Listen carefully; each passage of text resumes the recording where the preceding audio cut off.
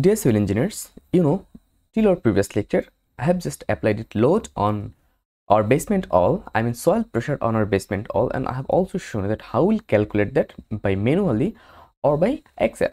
So that link are given in description. I mean our full complete playlist are given in description. So if you want to learn our previous lecture, then you can go there. Now in this lecture, we just have to do two things and after that we'll go for analysis. So what we'll do actually first of all we'll ap apply our wind load and then our earthquake load. When it will be okay after that we'll go for our next work. Okay? Okay so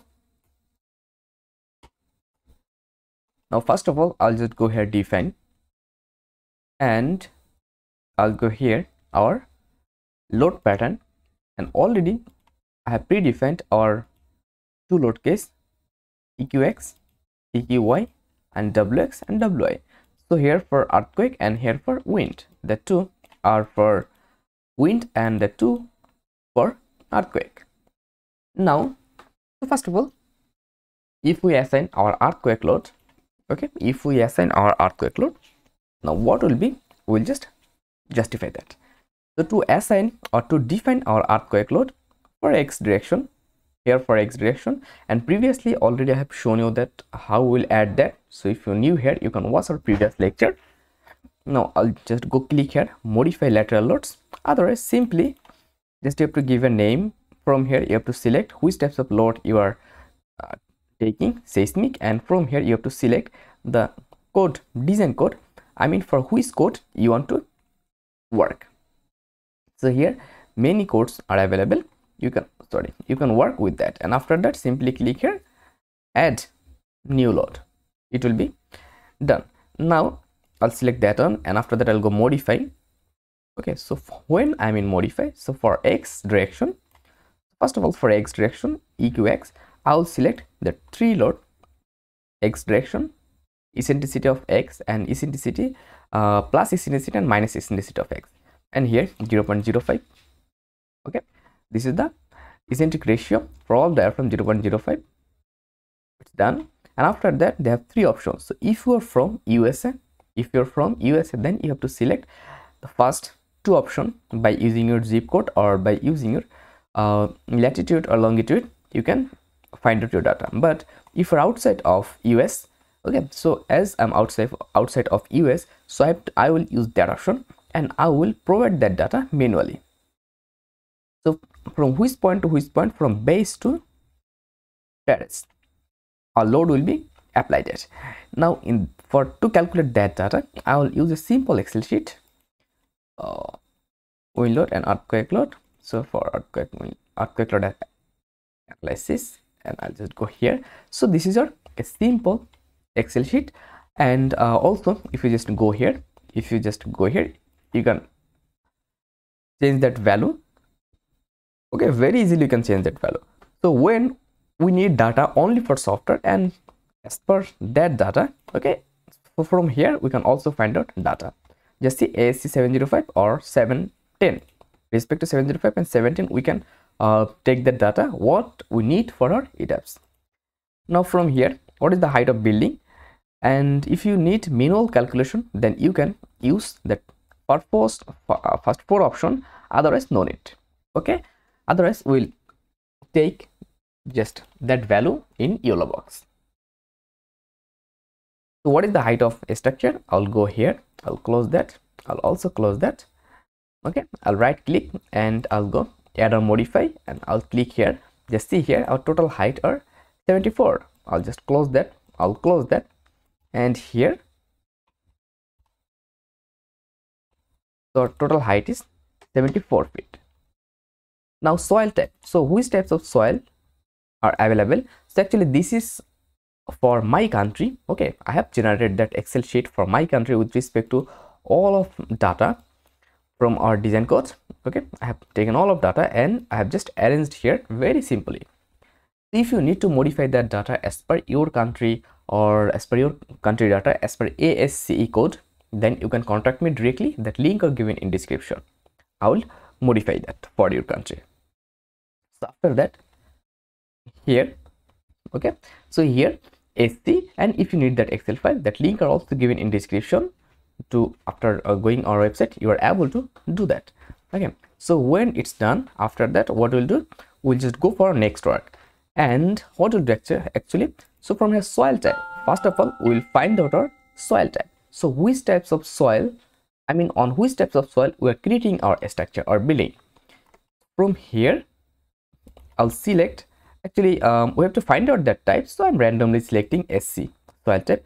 And from here uh, zone or town actually uh, for your case you can also provide here the value okay? So value for zone coefficient here i'm using um, value for 0.36 if i select a region from my country okay?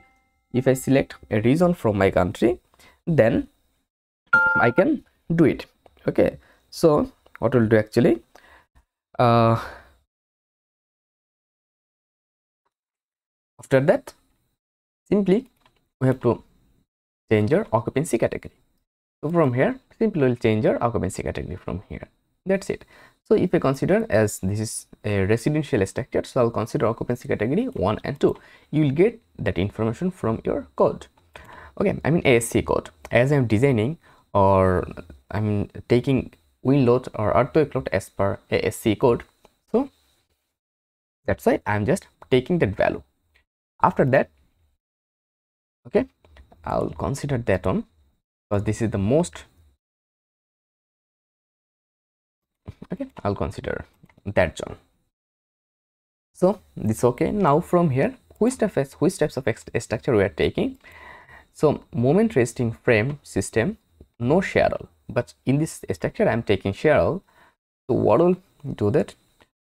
Uh, dual system special moment resisting frame. And from here I'll select two steps of a structure actually.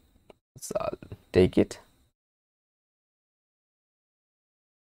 Ordinary reinforced concrete shear okay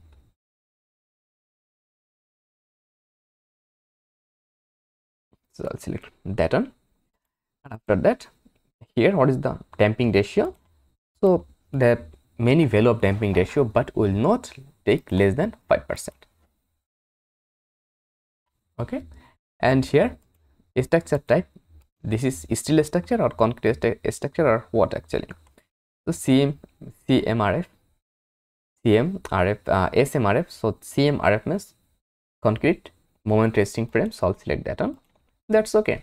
Our work have completed and now from here we'll get our data. Simply I'll take the data and input in our model. I'll just open our model. I'll just go here, define. And so move it little bit here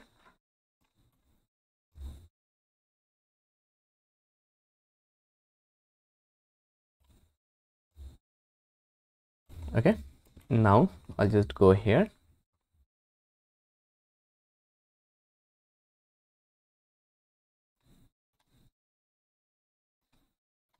Define.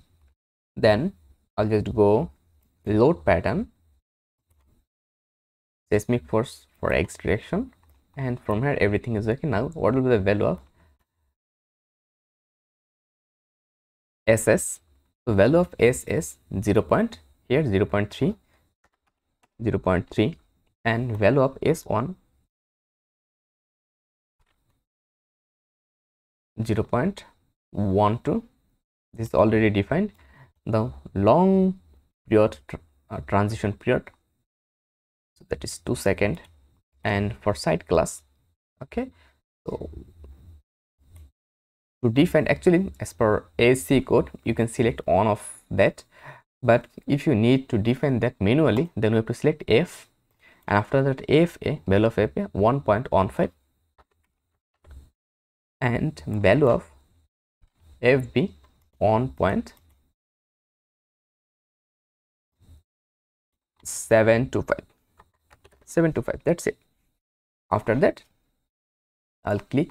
And after that uh, what is the response modification factor r so for response modification factor that is 5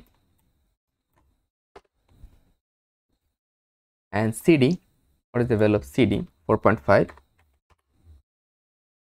and then value of omega 3